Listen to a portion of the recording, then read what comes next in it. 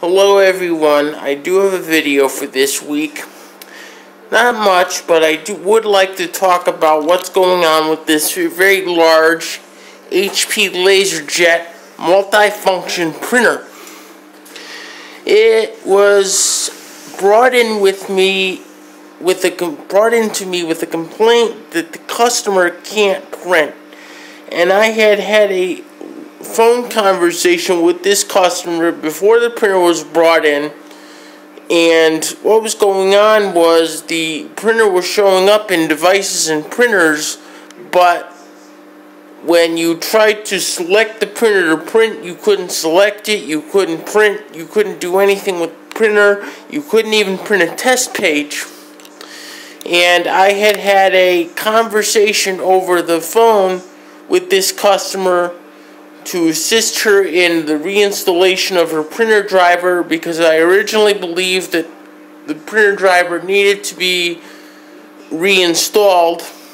That was not the case. In fact, the printer driver crashed during the reinstall, and I then had her bring the printer in which as you can see was quite a little bit of an ordeal because of the size of this printer. And when I examined the computer and printer setup upon ha having her bring the printer in, I found that there were major components of the printer driver that were corrupt and that were causing the print spooler to crash. Now, the print spooler is a very essential component of Windows printing. It allows for more than one print job to be stored for printing at a time by allowing jobs to go into the computer's memory instead of being sent directly to the printer. The printer can only handle a single job at a time in its buffer. So the print spooler allows for the spooling, hence its name, of multiple jobs in Windows. Print spooler is also a very essential component of some of the Windows 8 printer functions, including printer driver management. Because the print spooler is crashing, I cannot even remove the printer driver in order to get a clean reinstall of it. I have posted a message on the Hewlett Packard message board regarding this LaserJet printer issue, which I did find out is a common issue with Hewlett Packard LaserJet printers to have the printer driver get in a bad state for what seems to be no reason at all. I haven't gotten a response yet from Hewlett Packard on this issue. I hope I will get a response from them sometime today. Um, some of you may be wondering why I haven't actually called Hewlett Packard tech support lines yet.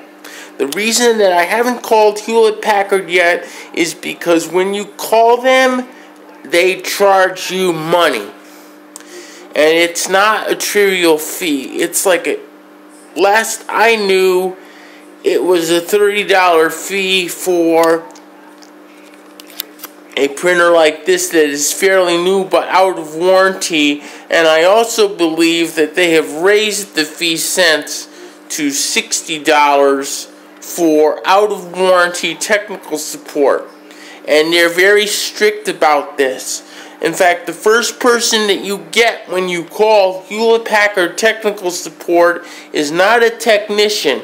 He is a credit card taker. He cannot help you at all with any technical questions whatsoever. His job is strictly to serve as a gateway and make sure that they get your credit card number before you move on to actual technicians. I love Hewlett Packard, but this is the only thing that I really hate about Hewlett Packard is their tech support policy. It's somewhat of a controversial policy, and it's been this way for years. I'm hoping that someday they will change it, but I'm not holding my breath. I will have a further update on this printer when I have the problem resolved. I'll see everyone next week. Talk to everyone soon. Also, before I let everybody go, I just had a thought.